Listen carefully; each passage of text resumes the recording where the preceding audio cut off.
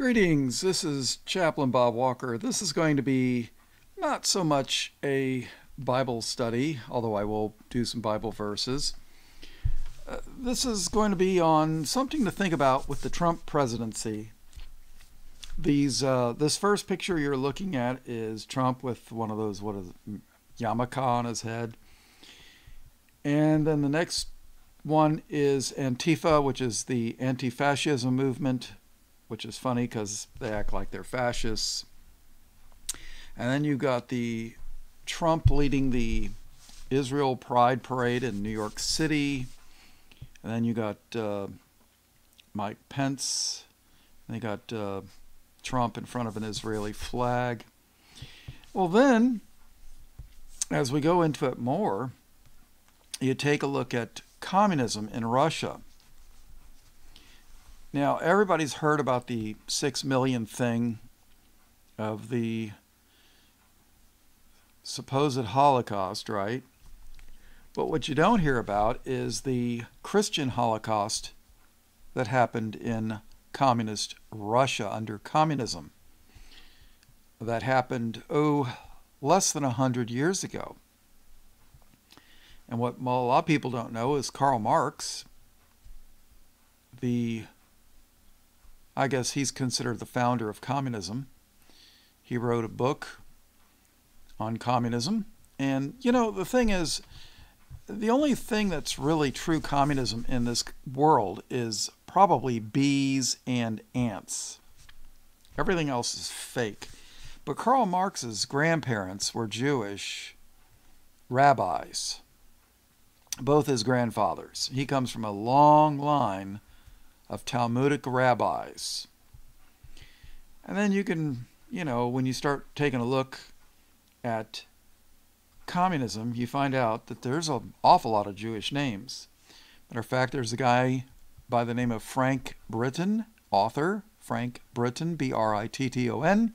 He wrote a book called Behind Communism take that book, look up the names, go to the Jewish Encyclopedia, and you will find out that is communism is very, very kosher. So, Anton LaVey, his real name was Levy, he was the founder of a the Church of Satan. Yes, he was Jewish too. And uh, what can I tell you? So this Antifa What's interesting about Antifa is they say that when the purge, which is communist speak for when we kill all those Christians, there's not going to be any racism. Well, yeah, because they're going to kill all the white Christians. Uh, there's not going to be any homophobia and transphobia and all the other things that they talk about. Let's see. Let me take a look. And, well, I could read everything for you. The thing is, uh, Antifa is really, uh, they've been going around causing all kinds of trouble. Now, the thing is, uh, a lot of people don't know it, but after the Russian Revolution in 1917, in the early 1920s, right after World War I, there was a communist revolution in Austria.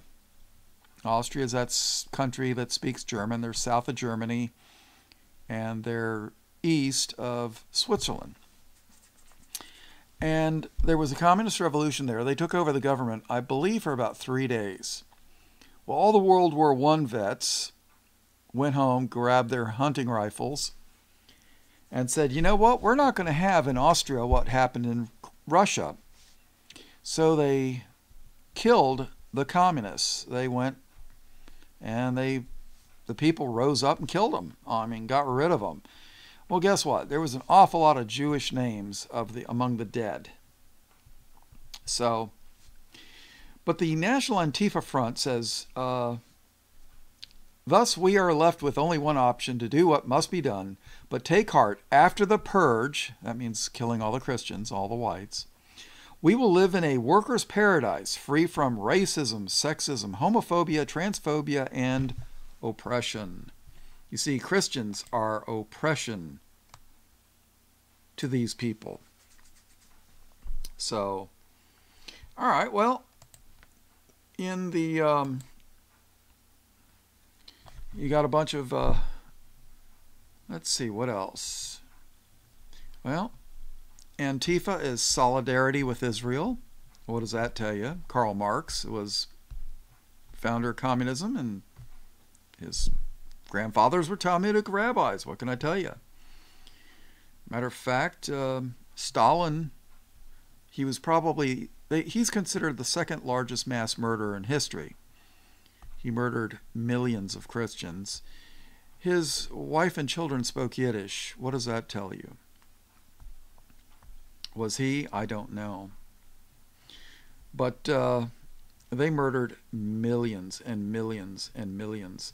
Matter of fact, the African National Congress, uh, heard of Nelson Mandela, which everybody fawns themselves over. He used to hang out with this Jewish communist by the name of Joe Slovo. And for those of you that don't know it, they're murdering all the whites, Christians, and what have you. And uh, why did God allow this to happen?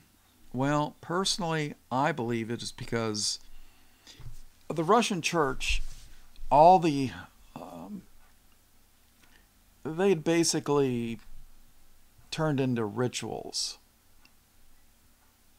instead of saving grace of Christ. They, you know, their pictures and uh, statues, and they weren't much different than the the Roman Catholic Church as far as their worship services, as far as I know. A lot of the clergy had wives and girlfriends uh, at the same time.